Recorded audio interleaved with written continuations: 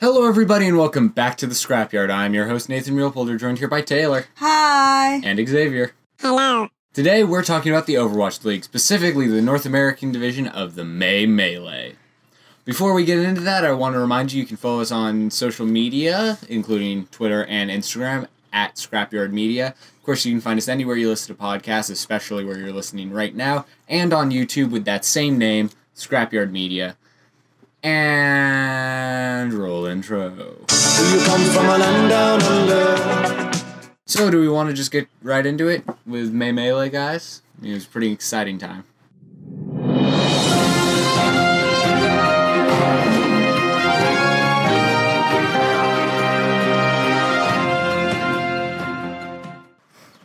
Hey guys, so unfortunately, something happened with Xavier's end of the recording and with our end of the recording that we didn't pick up the opening of his the episode where he was talking about the Chinese teams during the May Melee tournament.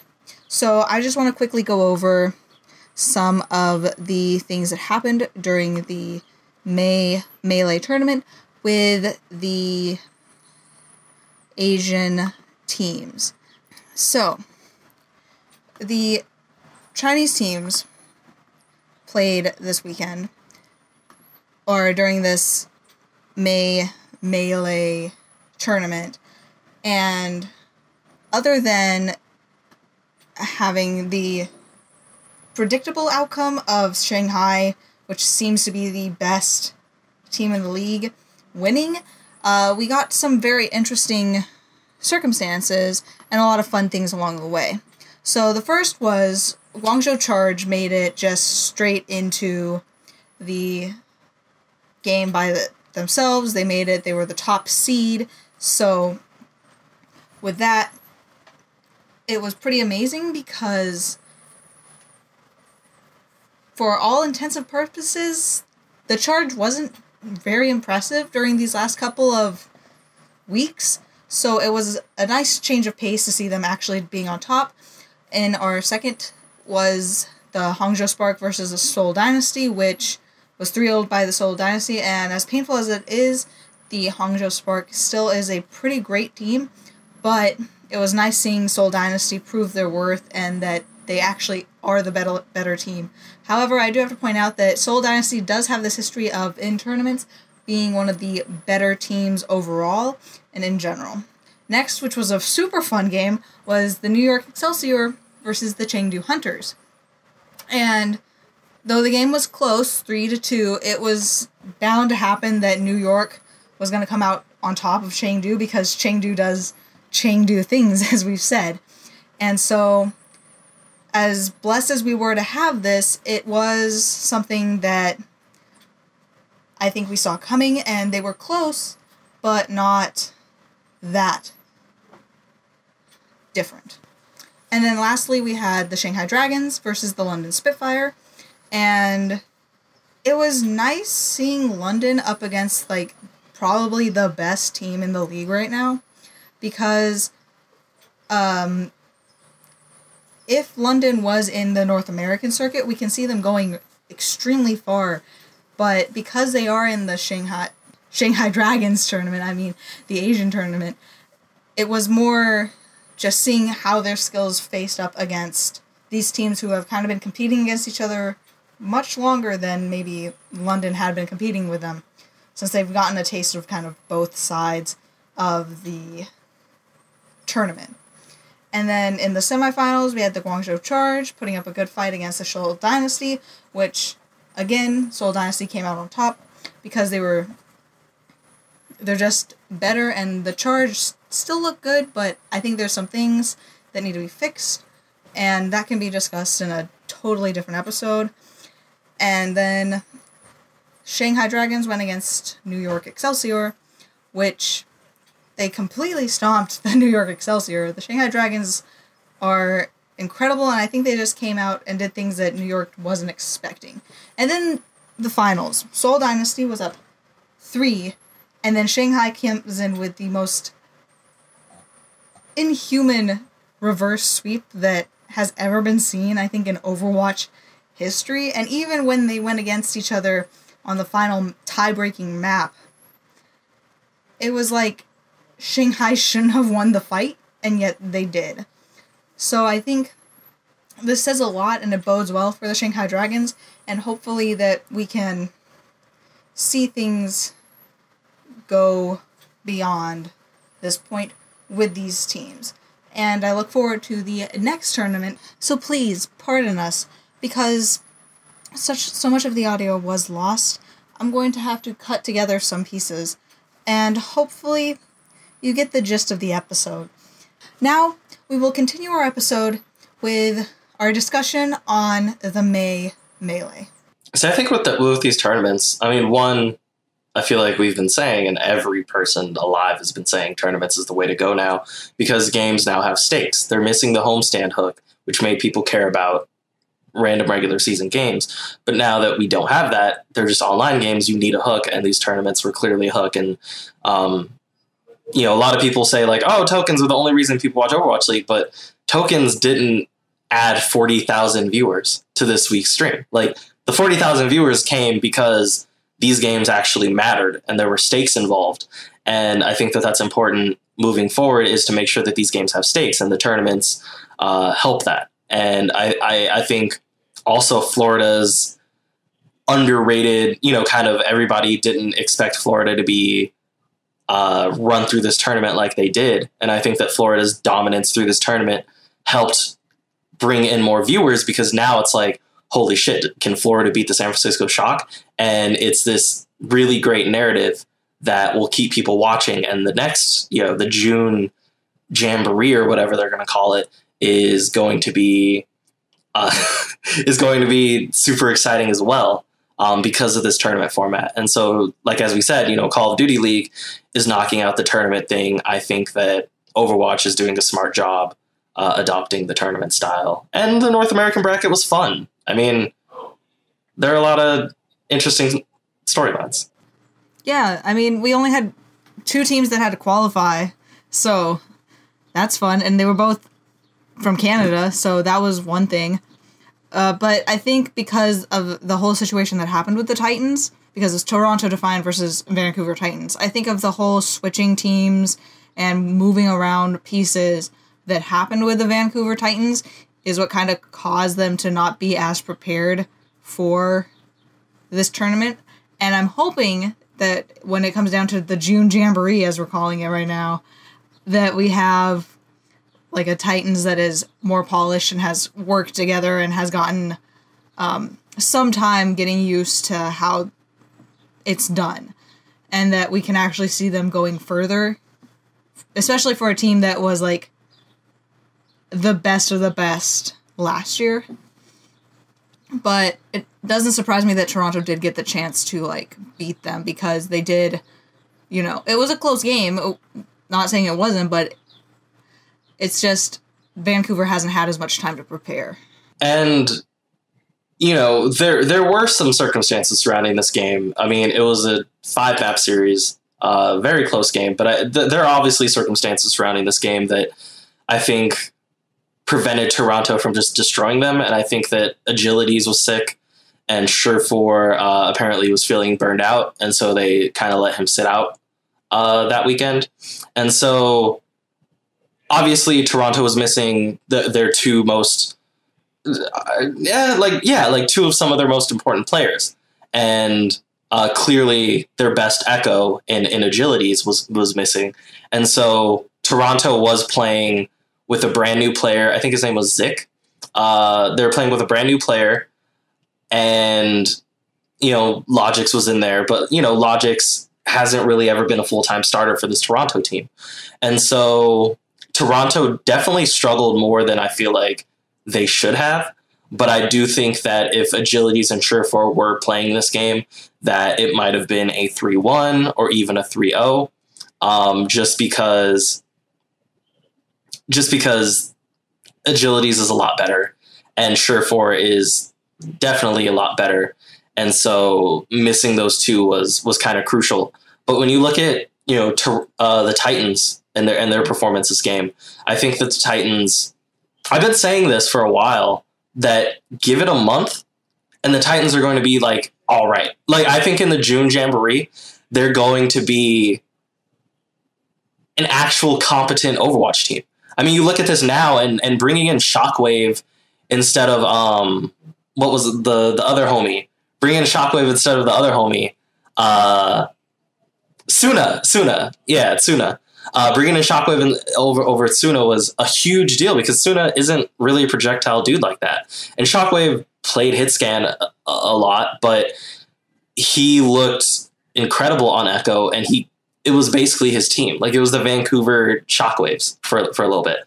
Um, and I think that having him on the team is going to somewhat take the pressure off Dalton of having to try super hard to win, and then it's going to allow him to kind of frag out a little more in the June tournament. And the rest of their team is just figuring things out. Like their tank line looked better. Uh, what was the name? Karkar. Like he's not complete ass now. Like this team is figuring stuff out, and like I said, they're a team that was formed like two weeks ago. Yeah, that's what I was saying. When they like they weren't prepared to go into this tournament, but as you said, give it a month and they'll be completely a totally different team and will probably look a lot cleaner, a lot more solid because this is like only the second game this team has ever played and they're still working things out. It's just like after the huge break where uh, Shock came back and they lost to both LA teams.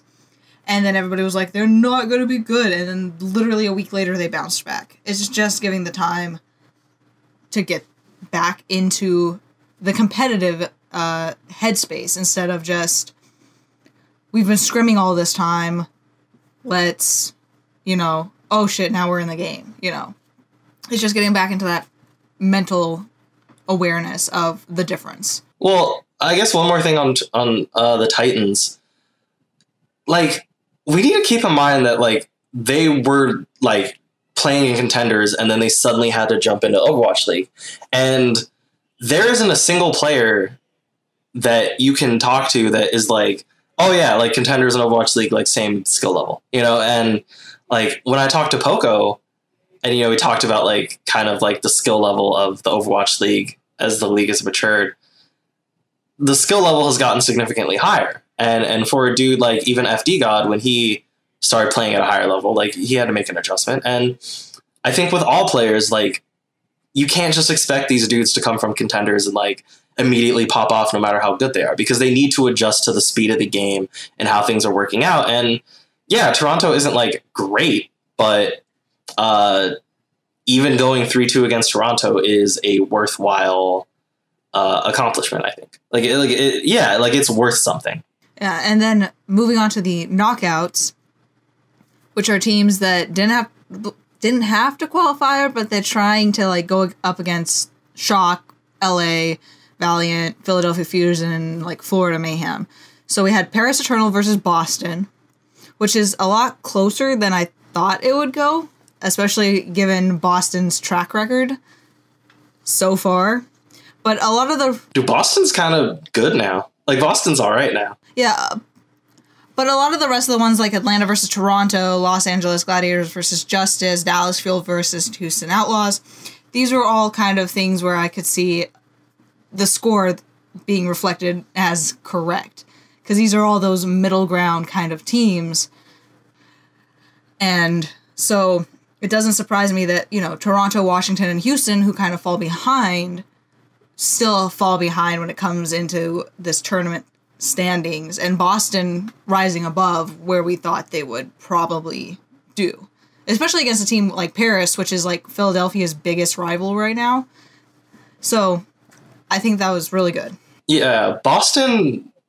Boston had a really good performance for themselves, and honestly, I didn't think they were going to win that map five. Um, I don't know, like Paris, like I don't think Boston is ready for like those super clutch moments. Like, like it's kind of the same thing with Paris when they when they played Philly super close after that first game. Like Philly just kind of figures out that map five and, and wins it. And you know, Paris isn't ready to win a close map five against an elite team like Philly yet. You know, uh, do it consistently, obviously. And I think Boston is not ready yet to win a close map five against a good team like Paris. But Boston is getting better and they are getting good enough to push these teams to a map five. And I think that the shining star of this team is not just Jerry, but I think that people are really starting to to see Myunbong as their best uh, player and viewing him as one of the top rookies and one of the best Anas, bar none. And that, alongside with Colourhex actually having a really strong weekend, made for Boston to look like really good. And I think that Boston is another team that's looking to make like an actual like tier jump. And I think that Boston is going to be able to kind of match up with like the Atlantas and the Gladiators, which they beat, but like you know, best of five series, they're not beating the Gladiators three out of you know three out of five times. But I think that Boston is looking to make that like next tier jump up to kind of be matched up with those Gladiators type teams, and I think that they're totally capable of it. They're they're figuring things out, and I like what I'm seeing, and I think that like the rest of this like knockout round was like I mean, like, yeah, the Gladiators are going to beat all Washington. Like, cool. Uh, Washington isn't good. Uh, Janus can be as good as he wants. You can't one v six as a off tank. It just be like that. Um, it's not going to happen. And Atlanta, Toronto's not good enough to beat Atlanta, obviously. And then the fuel. Yeah, again, like I said, these are all just like the mid tier teams. So Toronto, Washington, and Houston kind of always fall behind these teams anyway. So they just matched up with teams that are just too good for their skill level at this point in the league, I would say. Yeah, and Houston ran into Decay while he was playing like the best game of his life. Like Decay was Decay was just dunking on everybody in that Houston game. And I just I, I think that Houston they played him close their last game, but Decay like leveled up or something over the week and basically won that game by himself. So the knockouts were kind of boring, just in the sense that all the games were kind of expected results and nothing really uh, stood out. There weren't really any upsets and there weren't really any like, oh wow, this team is like actually low key popping off, other than the Boston game. So it was like three out of the four games were were very predictable.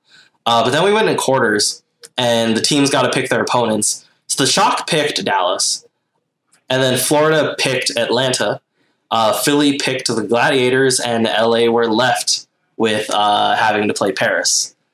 So that Shock Dallas game, I think, is actually really interesting, uh, just because I don't know, like when they picked Dallas, like motherfuckers were like, "Oh wow, you really want to go against Decay?" And the shock just completely shut that shit down. Well, I it's it's funny because I always San Francisco knows who they're good against, so no matter what, it's like they picked Dallas because out of all the options, it's the easiest matchup.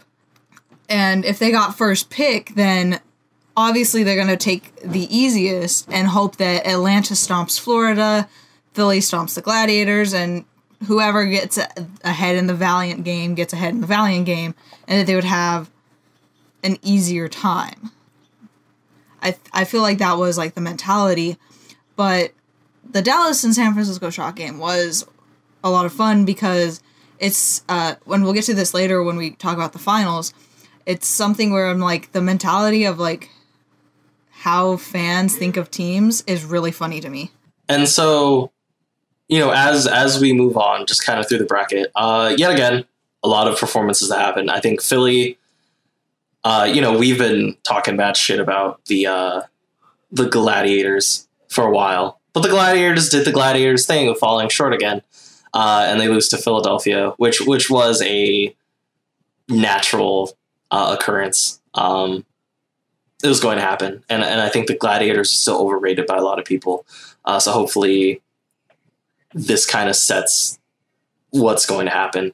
Um, and then Florida beating Atlanta was actually really surprising to me. I, I, thought Atlanta was going to end up winning this game, and even though like I'm not like a big fan of Atlanta. Yeah, that was extremely surprising. I mean, it's Florida. Yeah, like Florida's been doing good, but I, you know, I was like, well, Florida fucking beat up on like Boston and Vancouver. Like Florida was playing like fake Overwatch teams, and so like they were winning impressively, but I didn't really put a lot of stock into those wins. And I feel like an idiot for not doing that because they went in there and completely outclassed Atlanta. And even though I don't think Atlanta was ever going to be a top tier team, um, and they are just a mid tier team, I thought they were mid tier enough to like beat Florida and then move on to lose to Philly. And so that was a very interesting game to me. And I think that after this game, it felt like, oh shit, they might like run through this tournament because it wasn't just that they beat Atlanta. It- when I went to rewatch it, it was how unfair the game felt. It felt like Atlanta was a team that was supposed to be in like knockout rounds and they just kind of made it there. So that was an interesting game to me and I think that this was the beginning of a weekend of BQB wanting people to put some respect on his name. And I appreciate that because BQB was BQB had like some of the create like I can pull them up uh if you kind of want to go over some of the ga- like you know some of your thoughts on these quarterfinal games. But BQB had kind of an incredible tournament, uh, all things considered, throughout this May melee. So I, I guess I'll just kind of bring up these BQB stats right now. Um, he was like I don't think anyone, any one of us, or anyone who's really talking about BQB is like a god.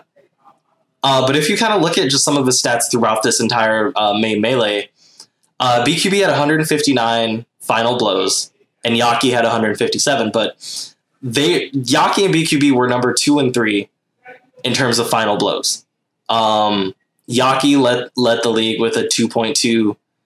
Yaki and BQB both had a 2.2 uh, final blow to death ratio. Uh, BQB yet BQB and Yaki yet again number two and three, uh, 149 and 148, and then the fourth place was 322 or 349 and 348, and then the next closest was Void at 322 for eliminations. So Yaki and BQB and Fleta were the top DPS this weekend, and BQB led in hero damage. He led by more than 20,000 uh, uh, points of hero damage.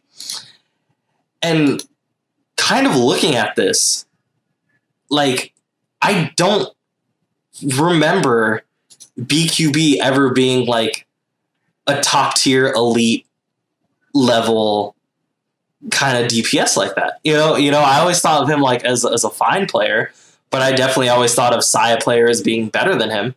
But I think that he leveled up this weekend, and this doesn't feel just like a um one of those. Oh, he had a really good weekend, and now he's going to be like back to average.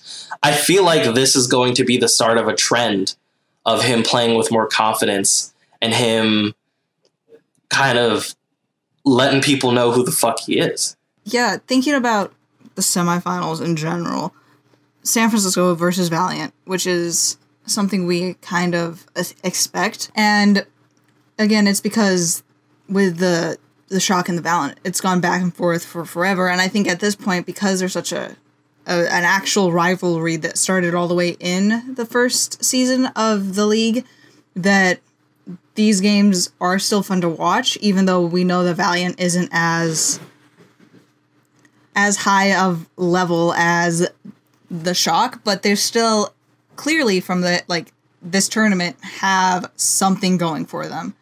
And then when it came down to Florida beating Philly, I think that's the that was the actual moment where everybody actually was like, "Oh, oh, okay. Let's let's watch this um this the finals, which was probably the best game of Overwatch this season yet.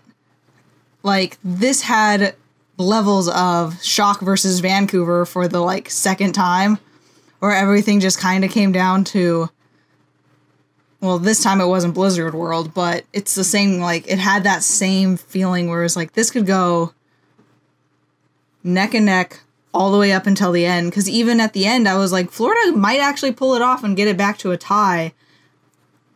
But then shock woke up, uh, basically. But it was such an amazing set of games, and I'm Very glad. so. And I'm glad that we got to have this because after Xavier gives his opinion, it's just it's it says something about all these teams in general when they face up against like the shock. See, I think the thing that's interesting is, I mean, like the Valiant are we're never going to beat the Shock. Like the Valiant are a good team, but they're worse than the Shock, and and so they just have a ways to go. Like it, it's fine. Like you're okay. Uh, Valiant tried really hard, and they're overperforming, which is great. But I don't like. Nobody could have like expected the fucking like Florida Mayhem to beat Philadelphia like they beat Philadelphia.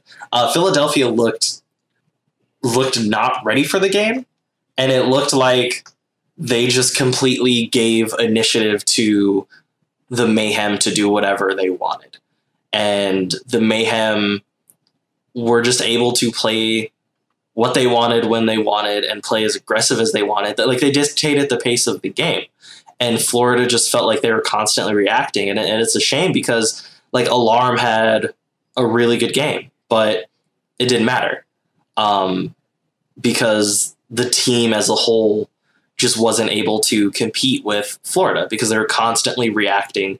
At least that's kind of what it felt like. They were constantly reacting to what Florida was doing. And that's not how you win Overwatch. You you have to you have to be the aggressor. You have to take initiative. You have to always be in control um, and fucking Philly wasn't. So, but but an interesting thing, I guess, before I talk about like the finals, but I feel like like one, Florida's not better than Philly, like in a holistic sense yet. I think Philly, I think Florida needs like one more good week or two to really make me think like, oh shit, Philly has arrived. Because we've seen this where a team has a really good tournament and then the next tournament they're just like back to like whatever. Um, and so I think Florida needs to kind of prove a little more because Philadelphia has been doing it all season and they've been shitting on people all season. And they just need to prove it a little more. But like Florida's right below Philly and they're breathing down their necks. But I think just another interesting thing to kind of think about is I don't believe like, you know, because Florida destroyed Philly, I think people have it in their mind that the shock would have completely destroyed Philly. But I do think that it's a whole different style and and it's whole different teams. And I think that yeah, like Florida beat Philly, and that's just kind of like shit happens. But I think if Philly did end up winning, they wouldn't have got completely destroyed by the shock either. I think it still would have been a close game. Uh, maybe four three. Maybe still it would- have been a four two, but Philly would have made a respectable showing of themselves. And I think that just the style that whatever you know whatever an analyst might think, but like the style that Florida played just destroyed Philly. But I think that in a game against the Shock, it might be have been different. So I don't necessarily think that Florida winning is a definitive statement on whether or not Philly is a sham team or not.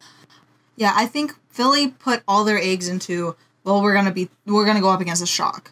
So they played reserve against Florida, and when you play reserved against a team where they have the possibility of doing a shocking thing, then your passiveness falls to their like assertiveness. So I feel like Philly was just like, oh well, we're gonna go up against shock at the end in the end because they're going to completely defeat them and then they undermined Florida's actual power, which I think is something that and I was telling you about this how close the game between Florida and the Shock were and how everybody was starting to go like, "Oh, maybe the Shock isn't as good because Florida is a bad team." And it's like you nobody leaves these teams room to like grow. It's just either you're a really good team and you have to stay good and if you start losing to a bad team you've immediately gone bad or like none no none of the teams can like be considered like a growing thing and i think that comes from not just like fans thinking it but i think it's how sometimes the casters present the teams. Where it's like if Washington Justin Justice did this exact same thing, everybody would have been like, "Oh my, oh my God, these teams are so bad now because Washington is a quote unquote bad team." Where it's like they're still professionals, they're just things aren't working within the organization, and if they got those things figured out, then this team would have gone somewhere. It's the same concept with Florida. They finally have it figured out. It took them three seasons, but they finally got it figured out. And now they're actually working on making these players good and putting out effort and making them compete harder. And I think that a lot of the time, teams, people just look at Florida Mayhem went into the finals of this quarter against Shock and almost won, and they're like, well, that just means that the best team in the league is doing worse. Then it's undermining how much work these players and the coaches and the organization is putting in to get to this point. Because, like, you were sharing me the tweets of what everybody was saying behind the scenes, and it's like they want it, they're working for it. You shouldn't undermine these players just because in the history this organization had a bad time because Shanghai is now the best team in It's a whole different organization now. yeah, it's Shanghai is the best team in the league, and that all sprouted from them being the worst team in the league. But now you can, but everybody thinks of it totally different, and I just don't think you should undermine these players when the organization has grown as a whole to get to this point. Yeah, there, there's definitely a lot of growth for Florida, and and with that final, I think that Florida like rode that shit as long as they could throughout the tournament, and they just ran into the world champions. Like I don't think Florida should ever be like losing to like and, and their coach said the same thing like shit we made it nobody no we didn't think we'd make it this far and we made it this far so congratulations to my dudes in Florida and and that makes complete sense because Florida wasn't supposed to make it to the finals and Florida isn't supposed to beat the world champions yet and so but what what I think like really bodes well for Florida I almost feel bad that like we're not even talking about the shock, but like who the fuck cares? The shock won. Who cares? Like they're really good. Wow, shocking. But with Florida, I think what really shows well for them is they didn't win like they didn't go out weak. You know, they they went out playing hard and they gave the shock like some shit to think about. Like like that I think it was Blizzard World. Yeah, that Blizzard World where they completely full held and destroyed the shock like that's that's meaningful and that's something that a good team can only do. You're not going to see fucking like washington do that to them. You're you're not. Like you need to be a good team to full hold the shock.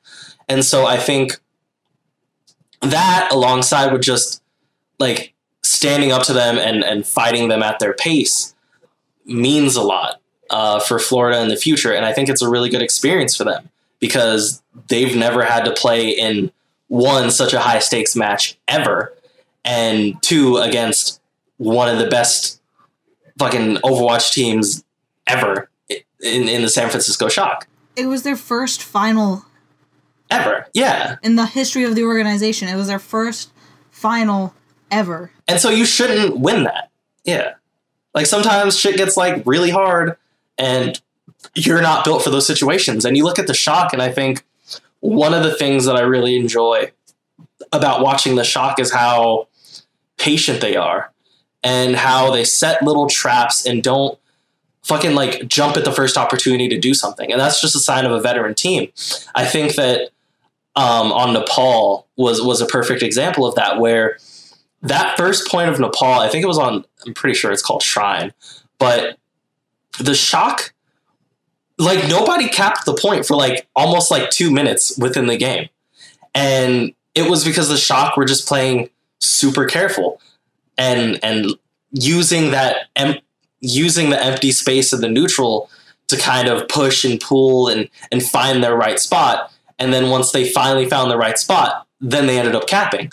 But the level of patience that they exhibited on Nepal is something that only a veteran team can do. And that's something that Florida doesn't have. Mm-hmm.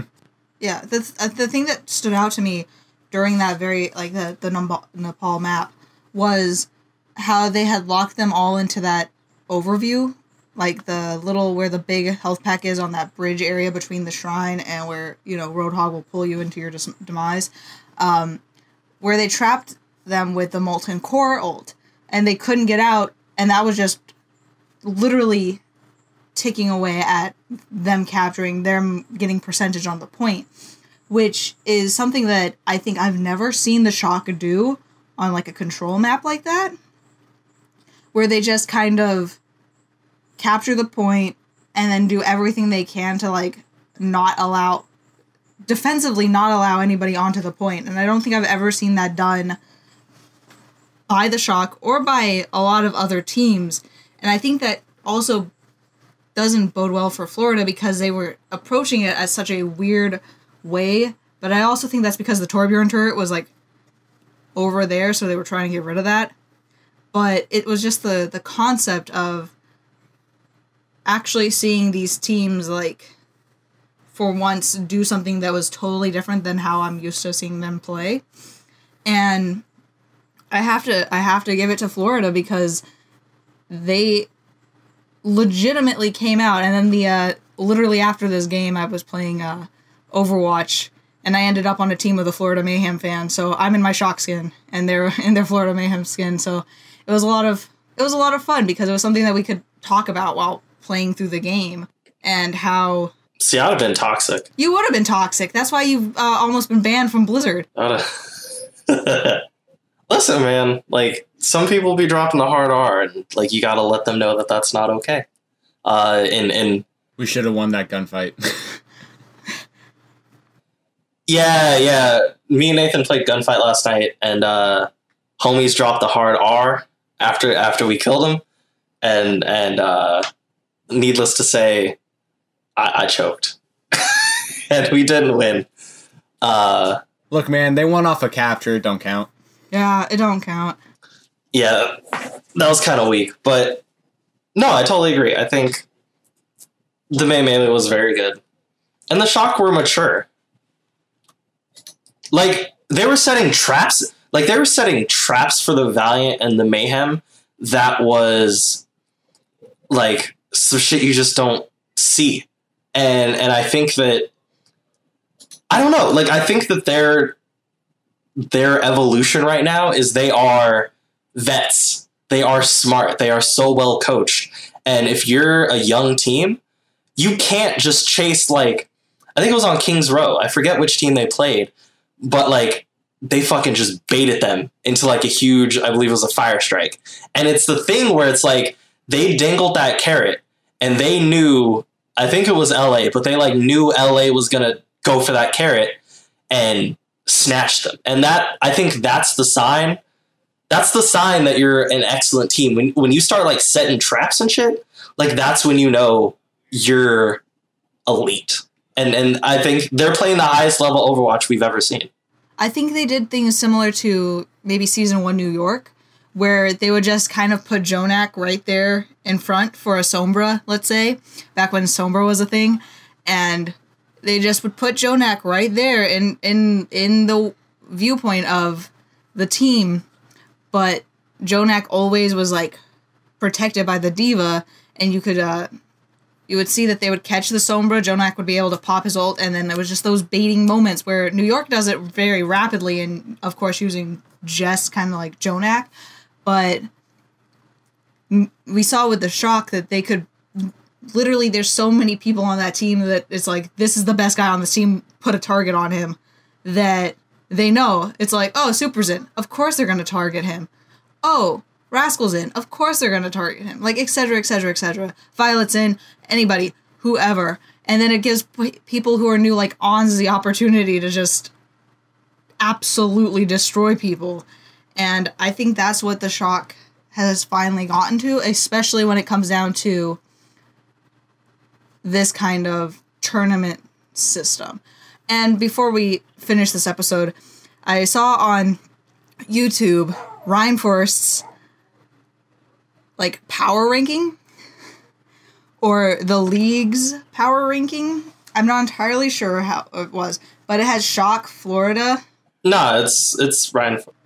Yeah, Shock, Florida, and then I don't remember who else, but and this is like kind of known by now if you've followed us for a long time that like me and Xavier have very hard opinions against any of the casters and any of the statistics people on the league because Well, all right, all right, wait, wait, wait. I, I gotta come to defense on on the homie. Uh, but no no no I'm not saying that it's not like bad. Oh, if you're taking it just based off this weekend, that's like a great like that's a great ranking system.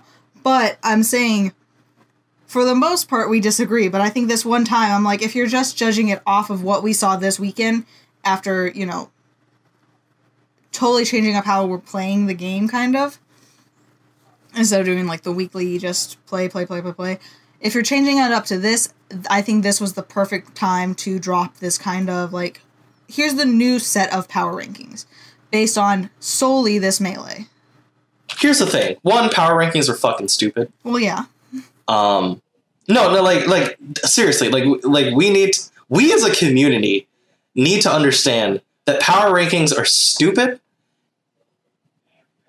All right, like that's it. That's it. We just need to understand. They should be left in anime. No, yeah, we just need to understand that, like, for one, power rankings are stupid, and like they're fun for like discourse and like talking about things. It's like, oh, like this is this is neat or whatever. But I feel like people have it in their brain that power rankings one are like objective, and if somebody has like a power ranking, like, oh wow, this is ridiculous, like.